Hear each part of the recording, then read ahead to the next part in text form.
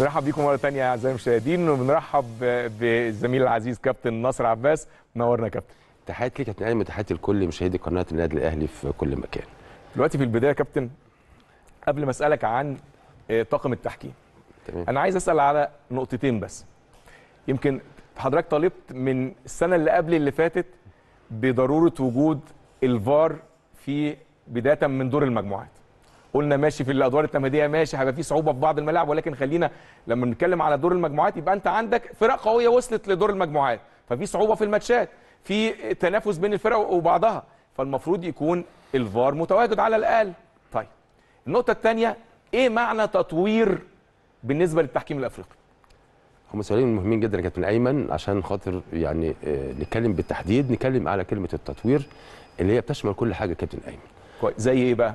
الاتحاد الدولي النهارده هو المسؤول عن لعبة كرة القدم.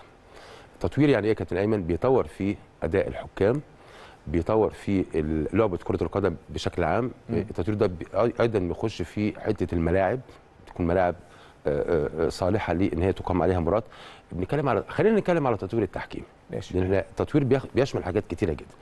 النهارده الاتحاد الدولي كابتن أيمن والمجلس الدولي التشريعي اللي هم مسؤولين عن آه، آه، التحكيم. آه، بنتكلم على إزاي نطور أداء الحكم ألف ب لو حضرتك تفتكر كده هم استخدموا التكنولوجيا في إن هم يساعدوا الحكام. ليه يا كابتن أيمن؟ لأن هم مش عاوزين أخطاء تحكيمية صحيح. تكون موجودة في المباريات. اذا لما جينا قلنا آه، طبق آه، في كأس العالم 2018 روسيا طبقوا تقنية الفيديو.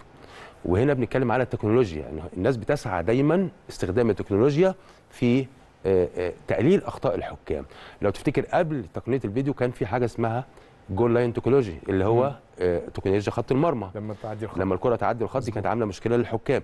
اذا الاتحاد الدولي النهارده بيسعى دايما إزاي يطور من أداء التحكيم ويقلل من الأخطاء التحكيمية اللي موجودة.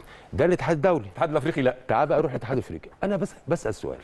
خلينا نتكلم على موضوع مهم جدا حضرتك اتكلمت فيه وهو استخدام تقنية الفيديو. وهنا من خلال قناة النادي الأهلي إحنا النهارده بنتكلم مش بس على مباراة النادي الأهلي كابتن أيمن إحنا شفنا في دوري السوبر أخطاء تحكيمية صحيح. شفنا قبل كده في أدوار تمهيدية أخطاء تحكيمية ان الأهلي تضرر بها بشكل كبير. على مستوى كمان المنتخبات النهارده بنتكلم في تصفيات كأس العالم. ودي حاجة مهمة جدا يمكن دي أهم بطولة في الاتحاد الأفريقي. انت متخيل متخيل ان تبقى هذه المباراه بدون تقنية تقنية يعني انت. بتصعد فريق عشان يعني يبقى ممثل في كأس العالم مش موجود تقنية الفار طب حضرتك الاتحاد الافريقي النهارده دوره إيه يا كابتن ايمن؟ أنا بتكلم دوره اولا توفير ملاعب بيئة صالحة للعب تطوير أداء تحكيمي كمان آه، دخول التكنولوجيا وده مهم جدا. بعض المنتخبات ما عندهاش. صحيح. بعض المنتخبات ما عندهاش حكام للفار.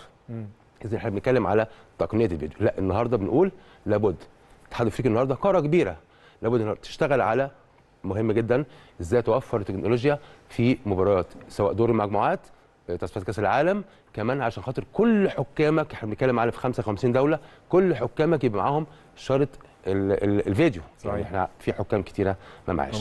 شفنا أخطاء خلي بالك في تصفيات كأس العالم أخطاء كارثية.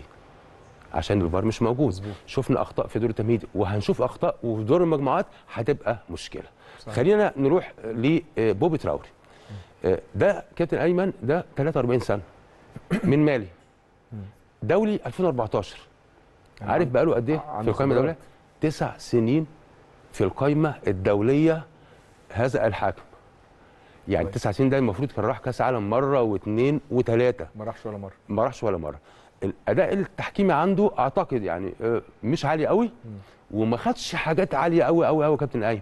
يعني لما تقيس دوت النهارده في مباراة زي ديت وتقيس حكم مباراة منتخب مصر وجيبوتي اللي هو كان عنده 27 سنة أيوه ده دخل القائمه 25 سنة ادوا له ماتش في تصفيات كأس العالم ودي كانت مفاجأة للكل أيوه حكم 27 سنة كان عنده أخطاء كبيرة جدا جدا صحيح. هو وكان آه، طاقم التحكيم. المساعدين هنا بوبي تراولي هو بيشتغل على الخبرات مم.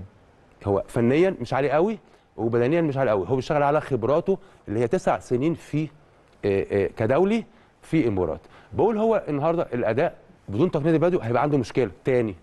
يعني حتى لو في خبرات هيبقى عنده مشكلة إن إحنا شفنا امبارح ماتش أو امبارح ماتش ركلات جزاء لم تحتسب وكانت واضحة جدا جدا جدا. صحيح. عشان ما نظلموش النهارده بنقول إحنا هنقيم اداؤه ولكن أقول لك بشكل عام 43 سنة كان المفروض يبقى من الفترة ده على الأقل كأس عالم واحد أو اثنين مرتين. ولكن هو ما راحش. آه، النهارده هو في ماتش ميدياما. أنا بعتبر ماتش بالنسبة له درجة صعوبه متوسطة مش عالية يا كابتن أيمن. عشان الفارق ما بين النادي الأهلي بالظبط ومديام الغالي الأهلي يعني في فرق كبير جدا في الأداء في اللاعبين في كل حاجة صحيح. بيروح لصالح النادي الأهلي. طبعا. فأنت النهارده عن... ما عندكش مشكلة بقى مفيش ضغوط عليك مباراة مش صعبة. نتمنى النهارده يقدم مردود في هذه المباراة هو وطاقم التحكيم. تكون بأقل الأخطاء آه، التحكيمية. نتمنى. أيضا للنادي الأهلي إن شاء الله النهارده فوز ويكون فوز مستريح وأعتقد إن شاء الله. هيكون موجود إن شاء الله. إن شاء الله كابتن بإذن الله رب العالمين. النادي الأهلي يتصدر بإذن الله المجموعة من البداية إن شاء إن الله شاء الله. كابتن. شكرا جزيلا يا كابتن نصر ولينا لقاء آخر بعد المباراة إن إن شاء الله. شاء الله. طبعا اتكلمنا برضو عن طاقم التحكيم وإحنا عانينا شوية يعني برغم من من تواجد بعض الأخطاء. عندنا إيه اللي إحنا بنعترف بيها. إحنا دايما ما بنغمضش عينينا. ولكن في بعض الأخطاء التحكيمية اللي إحنا عانينا منها سواء في مباراة السوبر سواء في دوري السوبر الإفريقي. فنتمنى إن شاء الله بإذن الله الفترة اللي جاية اتمنى التوفيق للتحكيم الأفريقي اللي إحنا ياما عانينا منه. من زمان ده زمان كمان كان يعني حدث ولا حرج.